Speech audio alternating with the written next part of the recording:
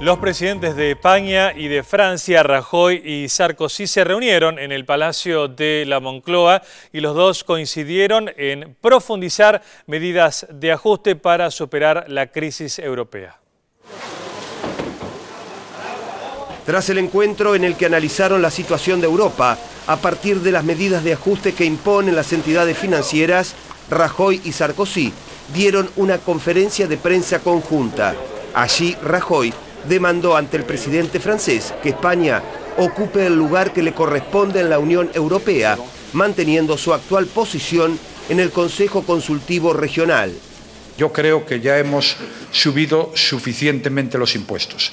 Ahora, eh, dicho esto, yo le digo que creo que es perfectamente conciliable el ir reduciendo el déficit público con no hacer ninguna subida de impuestos más en los próximos meses. Ahora, de la misma manera que le digo eso, pues también tengo que decirle eh, que en la vida nada es para siempre.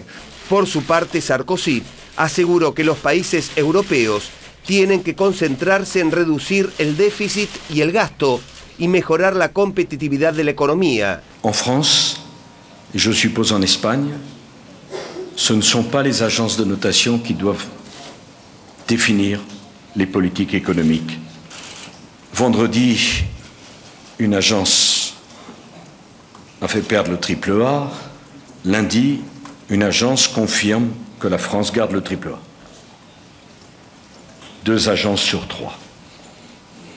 Il faut réagir à ces décisions avec sang-froid, avec recul, sur le fond des choses, ma conviction, c'est que cela ne change rien. Sarkozy aprovechó el encuentro en Madrid para elogiar el plan de ajuste que lleva adelante Rajoy, que busca reducir unos 15 mil millones de euros en el déficit público con suba de impuestos y severos recortes en los planes sociales. Esta es la primera rueda de prensa que ofrece Rajoy desde su asunción el pasado 21 de diciembre.